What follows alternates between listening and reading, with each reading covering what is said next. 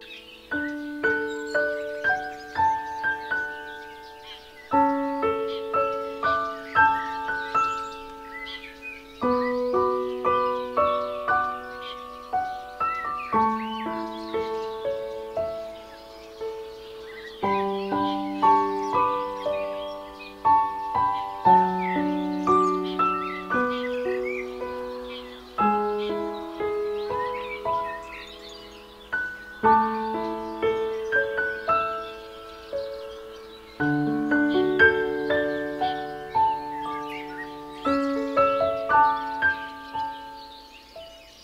Shalom, selamat pagi Bapak Ibu. Mari kita akan mulai doa pagi kita saat ini. Bapak yang baik, Tuhan Yesus Kristus, kami mengucap syukur pada pagi hari ini atas kebaikan-kebaikan Allah yang kami kecap dalam kehidupan ini. Tuhan, pagi ini kami berdoa biar Tuhan bersama-sama dengan kami menjamah, menguatkan, bahkan terlebih Tuhan, tolong hati kami supaya ada di dalam kendali Tuhan sehingga sepanjang hari ini kami boleh menyenangkan hati Tuhan. Tolong kami Bapa supaya menjadi anak-anak Tuhan yang mau melakukan yang baik yang sungguh menyenangkan hati Tuhan. Terpuji nama Bapa dalam nama Yesus kami berdoa. Haleluya. Amin. Mari Bapak Ibu kita naikkan pujian ini.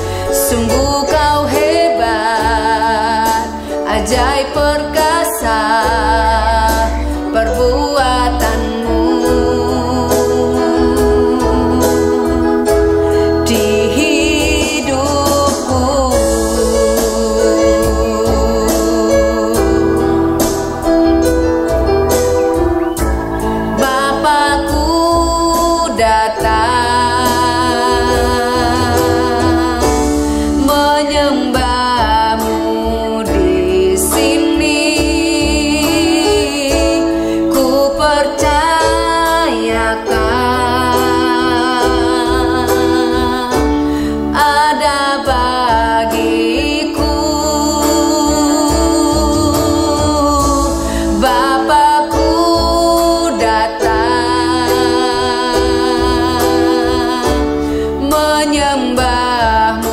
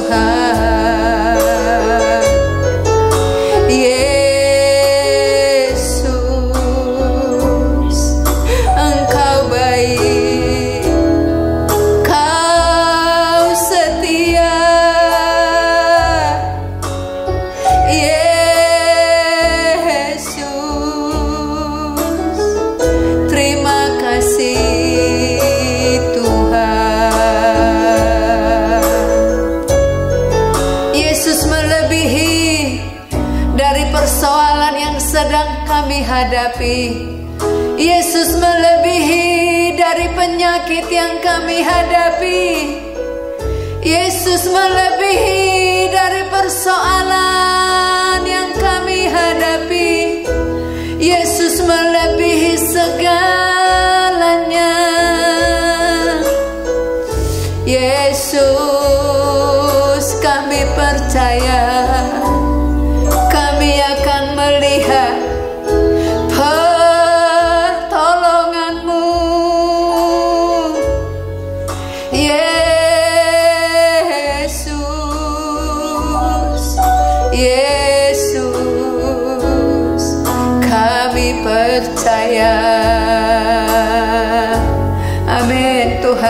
kami tahu Engkau ada bagi kami. Engkau ada di sini bersama dengan setiap kami ya Tuhan. Dan ketika Tuhan ada bersama kami, mujizat terjadi. Kekuatan dinyatakan, damai sejahtera dilepaskan. Dan kami akan menikmati Bapa kemurahan-kemurahan Tuhan. Kebaikan Bapa sepanjang hari ini. Terpuji nama Tuhan.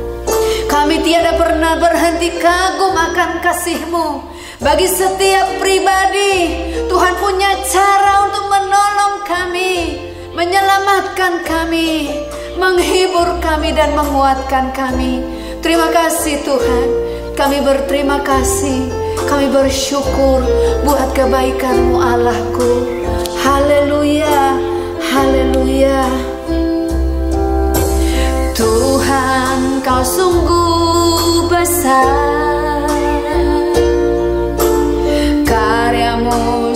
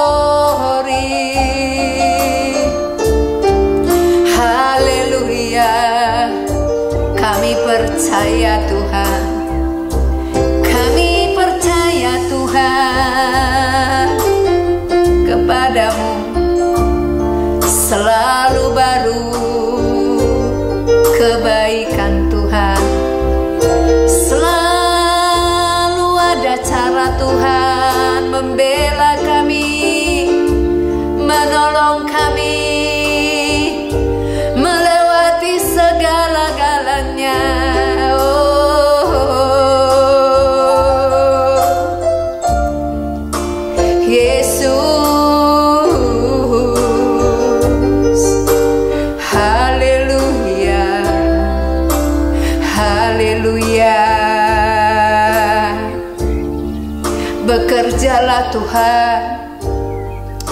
Nyatakan kuasamu bagi setiap kami Bahwa kami mendekat kepadamu Tuhan. Kerjakan kami seturut kehendakmu. Yesusku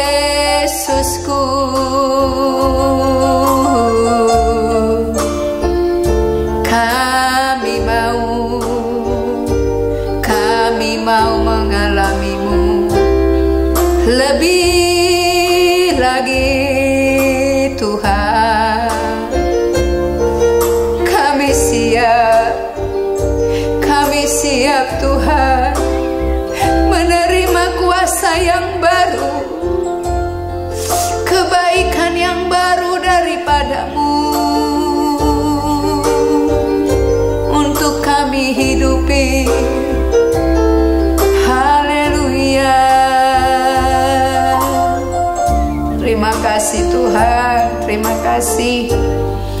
Tiada habisnya, tiada habisnya rahmatmu. Selalu baru ya Tuhan. Terima kasih Tuhan, terima kasih. Terima kasih Allah. Terpuji nama Tuhan. Haleluya, haleluya.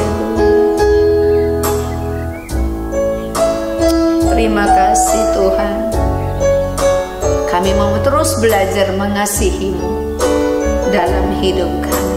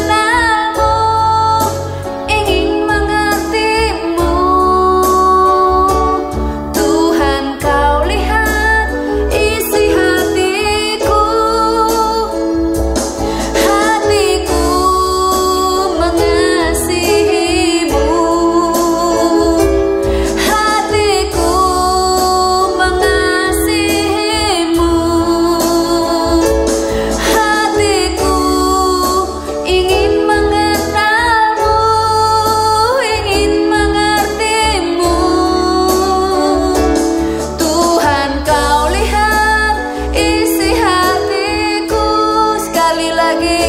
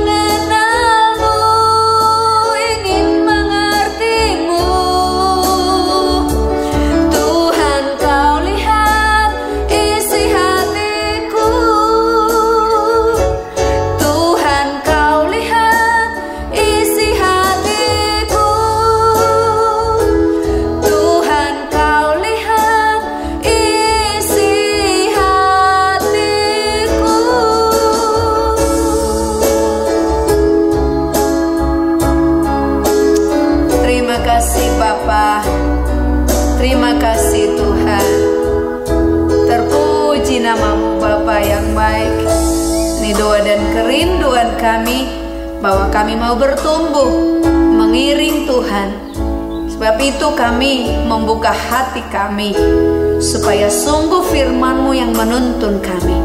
Terpuji nama Bapa Dalam nama Tuhan Yesus.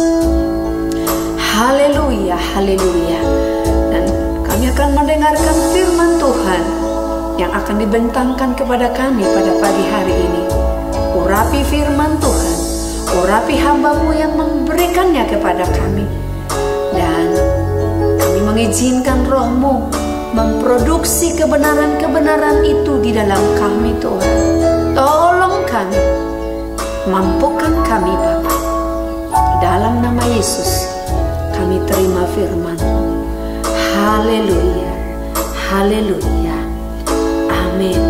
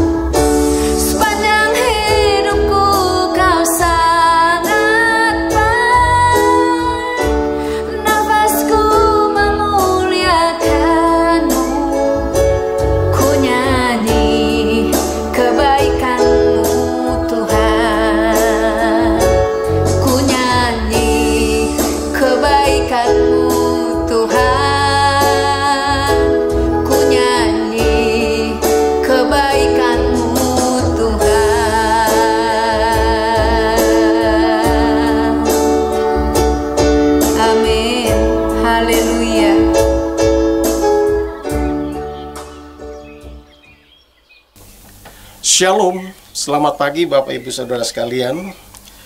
Uh, bacaan firman Tuhan kita pada hari ini saya ambil dari kitab Ayub pasal 4 ayat 1 sampai dengan 6. Maka berbicaralah Elifas orang Teman. Kesalkah engkau bila orang mencoba berbicara kepadamu? Tetapi siapakah yang dapat tetap menutup mulutnya? Sesungguhnya engkau telah mengajar banyak orang dan tangan yang lemah telah engkau kuatkan. Orang yang jatuh telah dibangunkan oleh kata-katamu dan lutut yang lemas telah kau kokohkan. Tetapi sekarang dirimu yang tertimpa dan engkau kesal. Dirimu terkena dan engkau terkejut. Bukankah takutmu akan Allah yang menjadi sandaranmu dan kesalehan hidupmu menjadi pengharapanmu? Bapak Ibu Saudara sekalian, apa yang kita baru baca firman Tuhan pada pagi hari ini, ini adalah sebanyak uh, ucapan dari Elifas, sahabat Ayub, kepada Ayub ketika dia mendengar Ayub itu kesal kepada keadaan yang menimpa dia. Bahkan Ayub sampai mengutuk hari kelahirannya. Kalau kita lihat dalam Ayub pasal 3, di situ ayat 1 katakan sesudah itu Ayub membuka mulutnya dan mengutuk hari kelahirannya. Maka berbicaralah Ayub, biarlah hilang lenyap dari kelahiranku hari kelahiranku dan malam yang mengatakan seorang anak laki-laki telah ada dalam kandungan. Nah, Ayub dia keluh kesah karena kita tahu atau mungkin kita sudah mendengar bagaimana Ayub mengalami penderitaan yang luar biasa dalam kehidupannya. Dia adalah seorang yang takut akan Tuhan, yang dikatakan dia adalah orang yang saleh dan menjauhi kehidupan dari kejahatan. Tetapi apa yang dia alami sungguh-sungguh betul sangat-sangat mengerikan karena semua hartanya hilang. Lalu ke sepuluh anaknya juga mati dan kesehatannya pun dia hilang. Bahkan dia harus menderita dengan penyakit yang dari ujung kepala sampai ujung kakinya dipenuhi dengan borok-borok yang setiap hari dia harus menggaruk dengan beling. Dan rupanya ini tidak dia tahan akhirnya dia berkeluh kesah dengan mengutuk kelahirannya seakan-akan Ayub mau katakan bahwa seharusnya saya tidak lahir di dunia ini. Toh kenapa kalau saya lahir kok saya harus berjuang hidup dalam kesalehan, hidup dalam takut akan Tuhan tapi akhirnya begini menderitanya. Ayub sepertinya dia meragukan akan kebijaksanaan Allah dan keadilan Allah. Nah, apa yang diucapkan Ayub ini didengar oleh sahabat-sahabatnya. Sahabat Ayub itu ada tiga. Ada Elifas, Bildad, dan Sofar. Nah dari ketiga sahabat ini memang Elifas yang paling tua di antara sahabat-sahabatnya. Dan Elifas itu mendengar itu sampai dia berkata kita baca tadi dalam ayat yang ke satu dan dua dia katakan begini Kesalkah engkau bila orang mencoba berbicara padamu tetapi siapakah dapat tetap menutup mulutnya?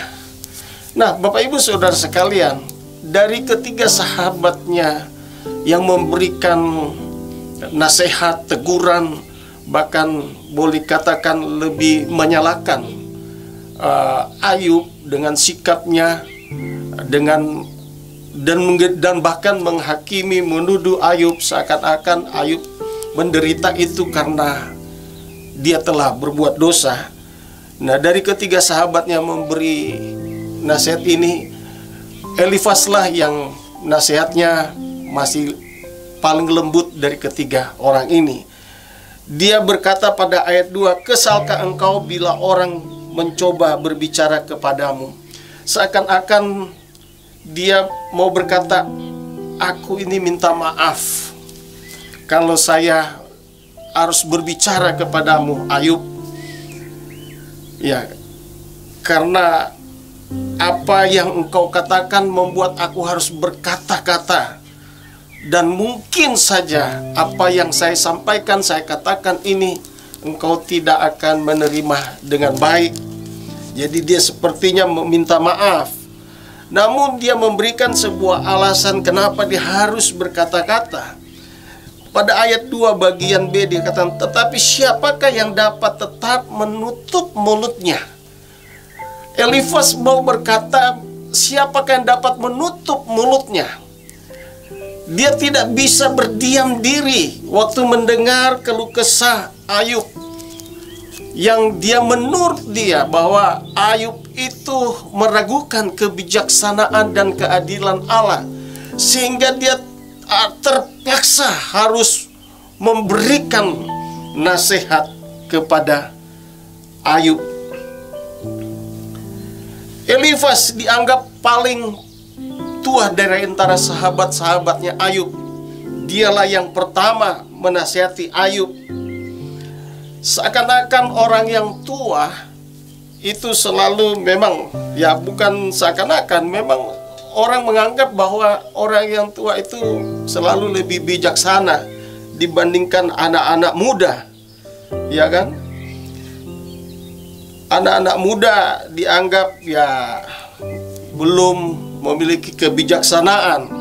Itu kita bisa lihat di dalam 1 Timotius 4 ayat 12 bagaimana ketika Paulus menasihati Timotius yang masih muda dia harus mengembalakan jemaat.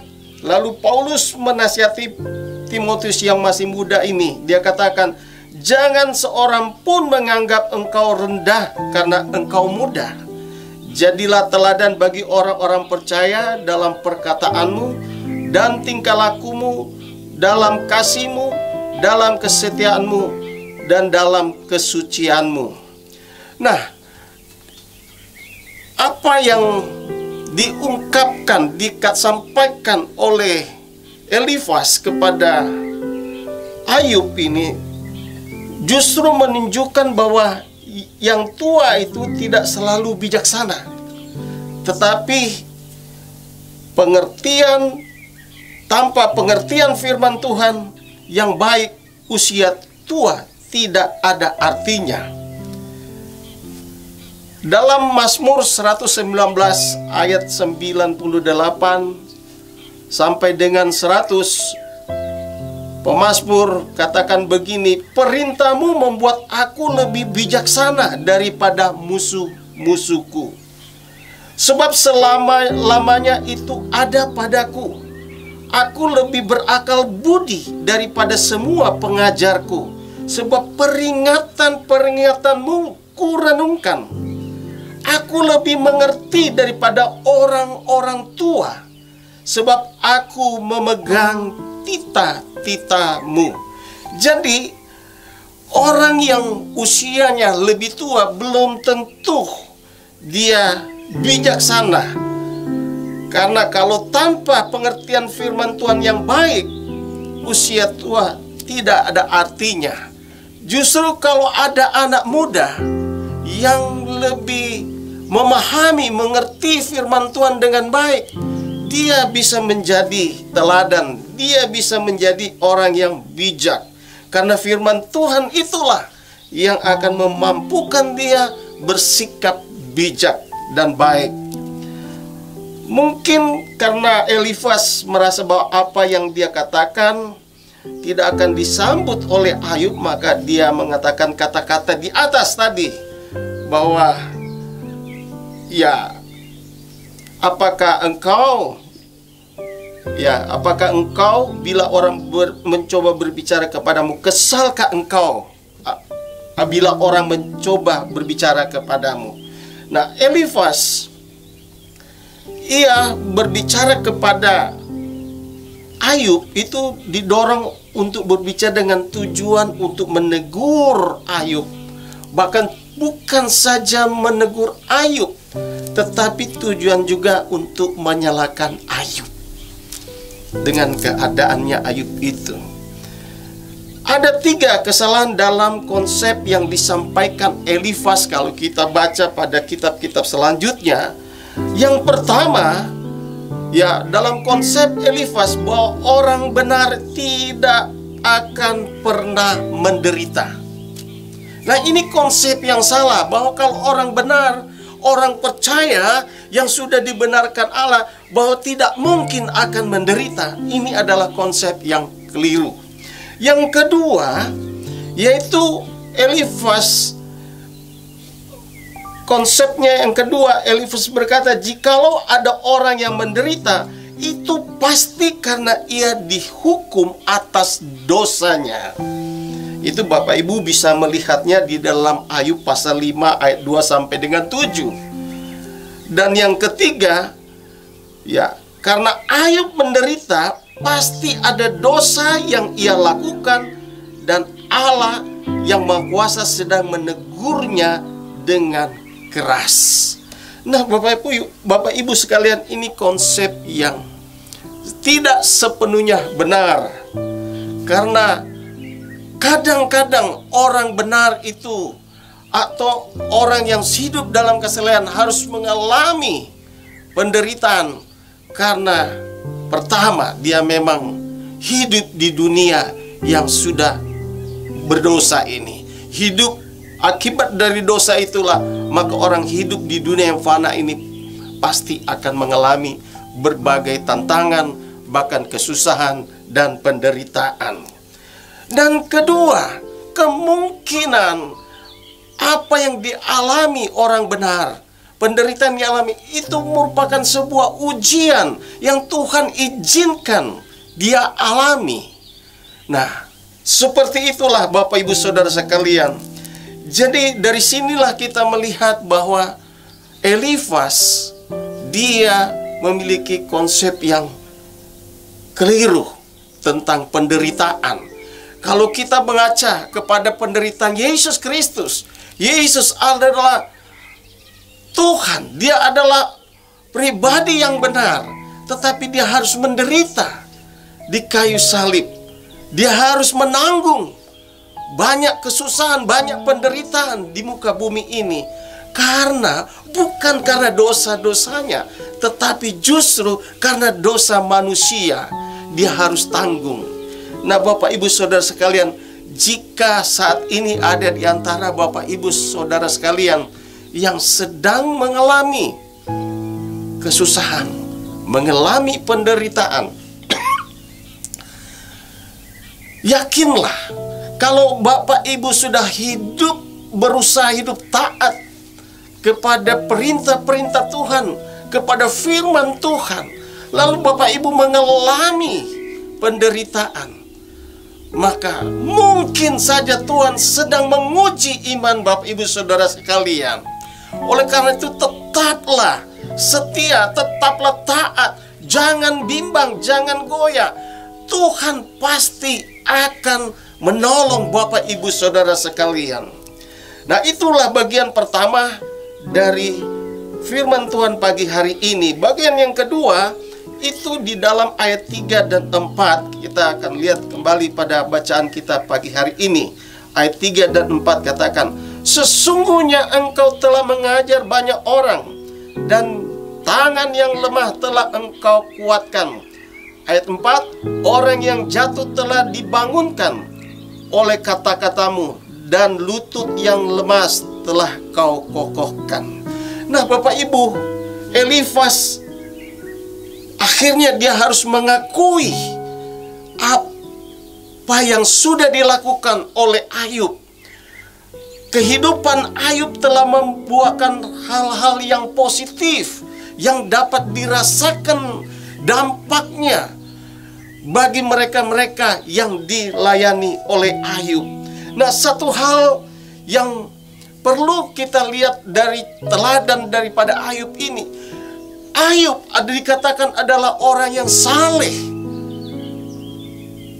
dia memiliki kesalehan yang diakui oleh Allah sendiri. Allah sendiri memuji kesalehannya dia. Nah, saya mau katakan bahwa kesalehan tanpa sebuah pelayanan omong kosong.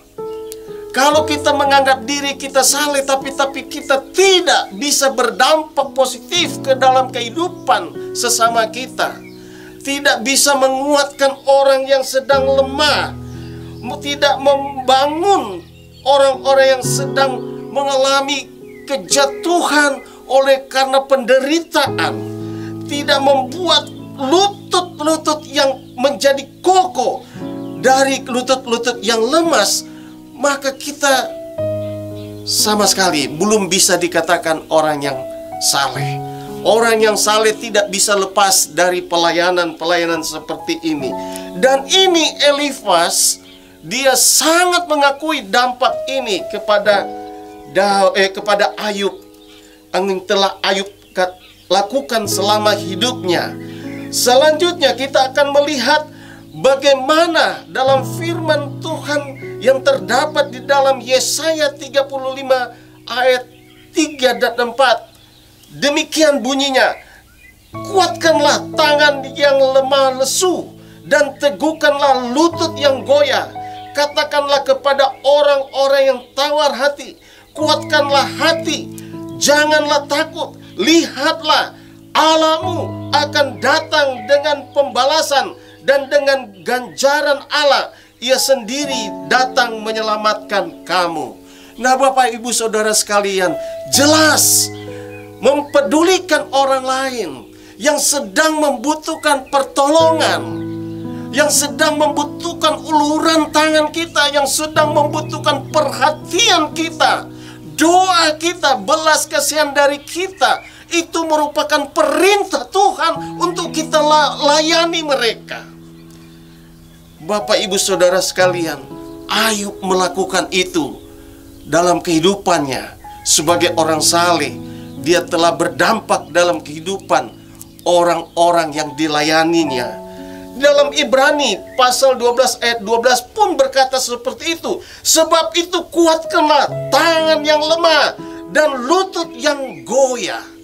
Nah, Bapak Ibu Saudara sekalian, kalau kita sebagai anak-anak Tuhan, orang-orang yang sudah percaya di dalam Yesus Kristus, dan kita boleh mengatakan kita adalah orang yang rohani, orang yang taat kepada firman Tuhan. Tetapi kalau kita tidak peduli dengan penderitaan orang lain, dengan kesedihan orang lain, kesusahan orang lain, kita tidak mau membangun mereka, tidak mau memberikan semangat kepada mereka, tidak memberikan kekuatan kepada mereka.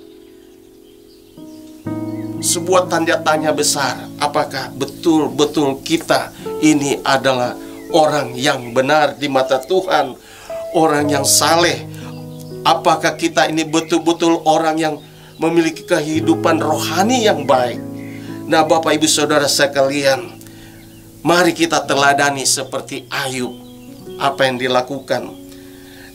Pada ayat yang kelima, Elifas kembali berkata kepada Ayub, "Tetapi sekarang dirimu yang tertimpa dan engkau kesal, dirimu terkena dan engkau terkejut." Nah, Bapak Ibu Saudara sekalian, Seakan-akan Elifas itu uh, ingin menegur tapi sebenarnya bukan menegur. Dia hanya mengingatkan kepada Ayub saja. Ayub ya kamu kan sudah mengajarkan banyak orang. Orang yang lemah engkau kuatkan. Orang yang sedang uh, bermasalah hidupnya, engkau terus memberikan nasihat dengan kata-katamu. Orang yang jatuh, engkau memberikan kata-kata yang mengokokkan mereka untuk menguatkan mereka. Nah, sekarang kamu yang mengalami penderitaan ini. Bapak Ibu, sebenarnya Elifas juga sedang memperingatkan Ayub akan apa yang dia sudah lakukan supaya nah engkau dulu mengajar seperti itu sekarang kamu mengalami penderitaan kok kamu kesel? Ya kan?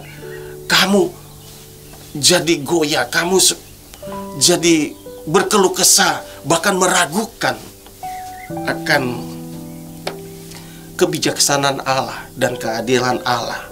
Kalau kita lihat dalam Lukas 4 ayat 23 di situ dikatakan maka berkatalah ia kepada mereka Tentu kamu akan mengatakan pepatah ini kepadaku Hai tabib sembuhkanlah dirimu sendiri. Perbuatlah di sini juga di tempat asalmu.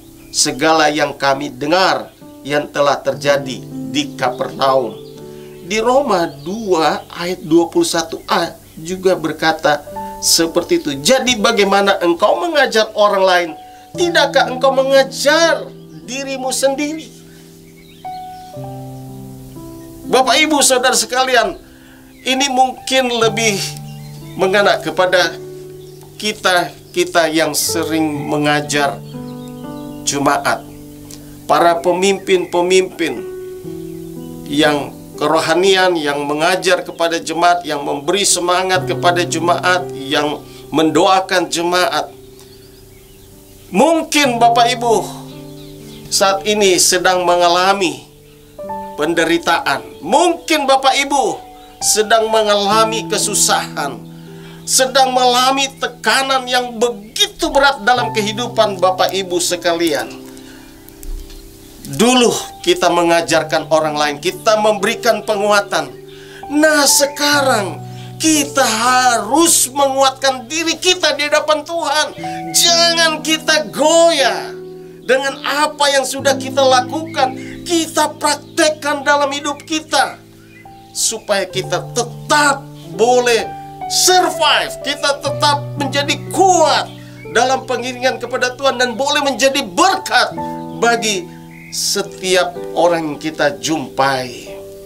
Bapak Ibu Saudara sekalian, pada bagian yang terakhir ayat 6 Elifas berkata, Bukankah takutmu akan Allah yang menjadi sandaranmu dan kesalehan hidupmu menjadi pengharapanmu? Nah, Bapak Ibu, sebenarnya pada ayat yang ke-6 ini.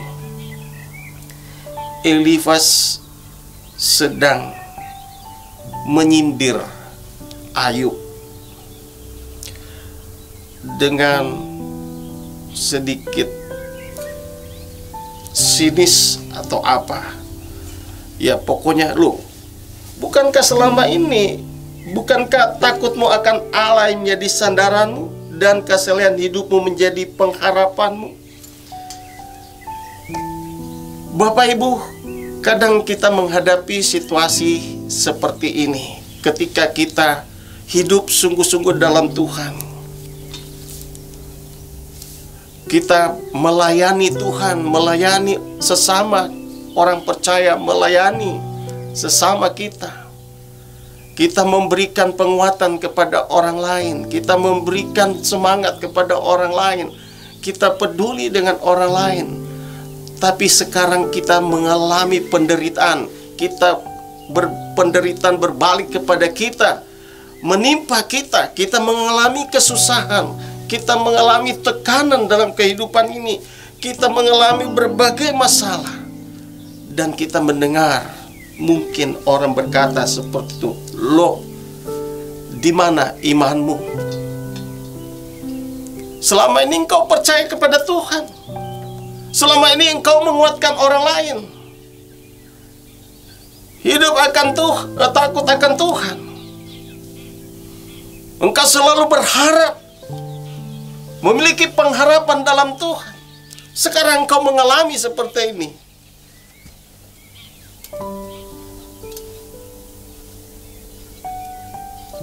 Kata-kata itu kita dengar menyerang seakan-akan menyerang kita. Tetapi saya mau katakan, mari kita lihat dari segi yang positif merespon dari sudut yang positif. Kata-kata yang mungkin menyindir iman kita. Kata-kata yang coba memojokkan iman kita. Pengharapan kita di dalam Tuhan bisa berbalik sebagai sebuah kekuatan bagi kita. Nah, Bapak Ibu Saudara sekalian, Elifas mungkin dia mau menyindir bahkan memojokkan Ayub dengan kesalahan Ayub, pengharapan Ayub, hidupnya takut akan Tuhan. Dia seakan-akan memojokkan iman percaya daripada Ayub.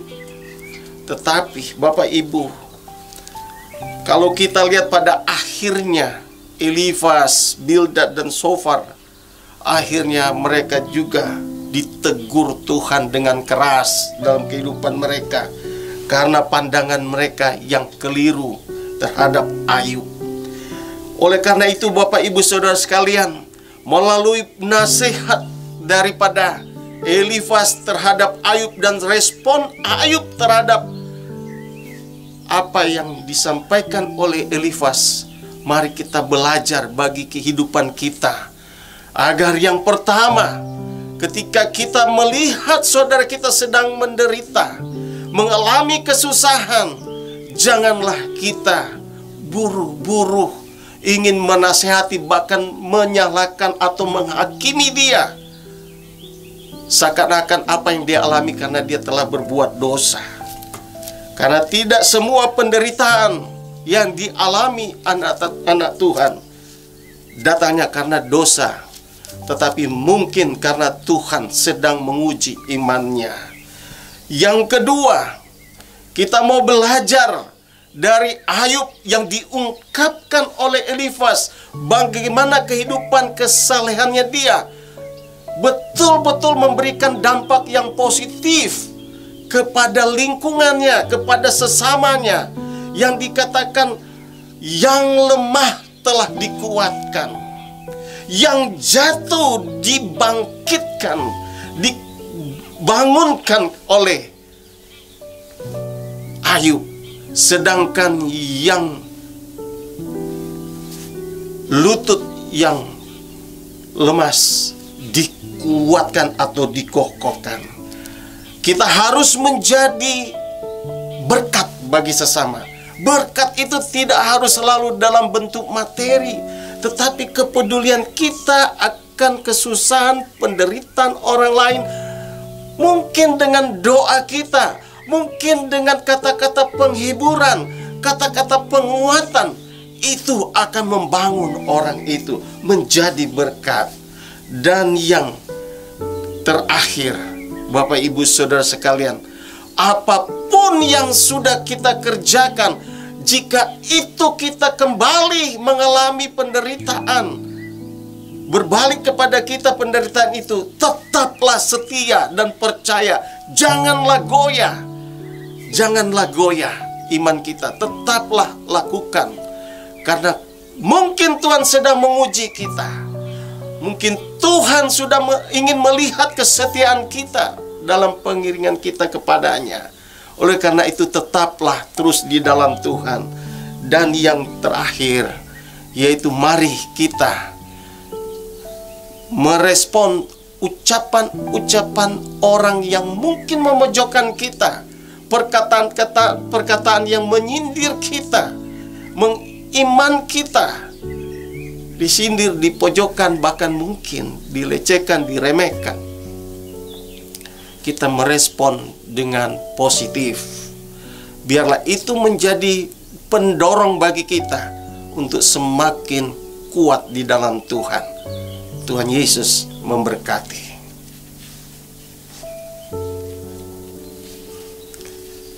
Mari kita berdoa. Bapa kami mengucap syukur pada pagi hari ini kami sudah mendengarkan firman Tuhan. Apa yang sudah kami dengar, biar roh kudus akan memeteraikannya di dalam hidup kami, di dalam hati kami, sehingga kami boleh mempraktekkannya dalam kehidupan ini, dalam hari-hari kami, dalam perjalanan kehidupan kami, tidak sedikit tantangan yang harus kami hadapi. Kadang-kadang itu menyesakkan, bahkan membuat kita harus mengalami kesusahan. Tetapi biarlah firman Tuhan ini akan meneguhkan kami semua yang mendengarkan dan mengikuti pada doa pagi ini. Biar semua kita boleh menjadi kuat jika kami semua saat ini atau kita, sebagian dari kita sedang mengalami masalah, biar kiranya firman Tuhan ini akan menguatkan kita semua. Terima kasih Tuhan, di dalam nama Yesus, hamba sudah berdoa dan mengucap syukur. Amin. Bapak Ibu Saudara sekalian, kita akan masuk dalam doa syafaat pada pagi hari ini. Saya mohon Bapak Ibu yang ada di ruangan ini atau yang sedang mengikuti dalam live streaming ini bisa bangkit berdiri kita akan berdoa syafaat saya akan memimpin. Mari kita berdoa. Bapa di sorga kami bersyukur memiliki Allah yang hidup Allah yang berkuasa Allah yang mengasihi kami yang berjanji tidak akan meninggalkan kami, yang akan menyertai kami sampai pada kesudahan. Allah yang sungguh peduli, Allah yang selalu memberikan dorongan, memberikan kami nasihat, membimbing kami, menuntun kami, bahkan menegur kami jika kami menyimpang atau kami berbuat salah. Kami bersyukur atas semua yang Tuhan sudah kerjakan dalam hidup kami Kami bersyukur atas semua yang Tuhan sudah berikan dalam hidup kami. Kami bersyukur bahwa apa pun yang Tuhan sudah berikan, kami boleh terima dan menikmatinya dengan ucapan syukur. Terpujilah Tuhan. Bapa di sorga pagi hari ini kami akan berdoa untuk beberapa hal biar kiranya Tuhan menolong kami semua mendengarkan doa-doa kami dan kami percaya Tuhan Engkau Allah yang berdaulat Engkau Allah yang berkuasa pasti akan menolong kami semua. Bapa kami bersatu hati berdoa bagi bangsa dan negara kami. Kami bersyukur bahwa Engkau telah memimpin bangsa ini melewati pemilu dengan baik, dengan lancar tanpa terjadi uh, gojolak, kerusuhan atau perpecahan. Dan kami bersyukur Tuhan bahwa semua lembaga yang mengurus pemilu ini telah bekerja dengan baik. Mereka sudah menjalankan tugas mereka dengan baik sehingga semuanya boleh boleh kami nikmati dari hasil-hasil pemilu ini dengan baik juga Tuhan dan jika masih ada uh, kesalahpahaman atau ke, kekurangan-kekurangan dalam pemilu ini biar kiranya Tuhan terus menyertai bangsa kami agar kekurangan atau kesalahpahaman ini bisa diselesaikan dengan baik melalui jalur-jalur yang berwenang, jalur-jalur hukum yang ada. Terima kasih Tuhan atas pimpinanmu, penyertaanmu selama pemilu. Dan kami percaya presiden yang terpilih adalah pilihan Allah juga. Oleh karena itu kami sebagai rakyat Indonesia pasti akan turut mendukung presiden yang terpilih. Mendoakan bahkan agar presiden terpilih boleh melaksanakan tugas-tugasnya untuk lima tahun ke depan untuk bisa memajukan bangsa kami semakin hari semakin berkembang, semakin maju menjadi Indonesia yang emas. Terima kasih Tuhan. Kami juga berdoa bagi Bapak Presiden dan Wakil Presiden Pak Jokowi dan Pak Mahruf. Tuhan, kami percaya Engkau telah menyertai Bapak Presiden dan Wakil Presiden dalam kepemimpinan mereka Engkau telah menyertai dan memberikan hikmat-hikmat kebijaksanaan sehingga mereka bisa melakukan atau melaksanakan tugas-tugas sebagai kepala negara, kepala pemerintahan dengan baik. Bangsa kami di bawah kepemimpinan Bapak Presiden dan Wakil Presiden boleh mencapai tahapan-tahapan kemajuan yang sangat signifikan dan kami sungguh bersyukur bahwa pembangunan di seluruh Indonesia betul-betul boleh dinikmati oleh seluruh rakyat Indonesia. Yang tentu saja mungkin masih banyak hal yang harus dibangun tetapi selama pemerintahan presiden yang sekarang ini kami sudah bisa melihat bahwa terjadi pembangunan di semua daerah pembangunan di semua provinsi, di semua pulau. Terima kasih Tuhan atas hikmat dan kebijaksanaan yang Tuhan sudah berikan kepada Presiden dan Wakil Presiden dan juga kekuatan serta kesehatan kepada pemimpin kami. Kami berdoa Tuhan agar bangsa kami ini sentiasa ada di dalam uh, kasih Tuhan sehingga bangsa ini tetap terus bersatu saling mendukung bersatu dalam sebuah kesatuan untuk memajukan terus negara dan bangsa ini sehingga seluruh rakyat boleh mengalami kesejahteraan. Tidak ada lagi orang miskin, tidak ada lagi orang yang tidak bersekolah dan tidak ada lagi orang yang sakit tidak bisa diobati atau tidak ditangani secara medis tetapi biarlah semuanya bisa terpenuhi di tengah-tengah bangsa ini oleh pertolongan Tuhan. Bapa di surga, kami berdoa juga bagi gerejamu, gereja sidang jemaat Allah di seluruh Indonesia di mana pun berada. Dari Sabang sampai Merauke, dari Mianga sampai ke Pulau Rote. Mari Tuhan, gereja-gereja GSJA yang ada di kota, kota, di kabupaten, di daerah-daerah, di pelosok-pelosok maupun di pedalaman-pedalaman biar kiranya senantiasa memberikan dampak yang positif di mana gereja itu berada. Kehadiran gereja akan dirasakan mendamaikan, memberikan ketentraman, memberikan sukacita, memberikan kegembiraan bagi masyarakat sekelilingnya dan turut dalam membangun bangsa yang bersatu, bangsa yang rukun, oleh karena itu berkatilah gereja-gereja sidang jemaat Allah yang ada di Indonesia. Khusus gereja sidang jemaat Allah Ebenezer dan satelit-satelitnya. Kami bersyukur Tuhan Engkau telah memimpin gereja ini, Engkau telah mengembalakan gereja ini dan kami boleh mengalami banyak hal dalam pengiringan kami dengan Engkau Tuhan. Engkau telah memberkati gereja ini dan oleh karena itu kami berdoa biar seluruh jemaat Tuhan yang ada di gereja ini mereka senantiasa bertumbuh dan berakar di dalam Engkau.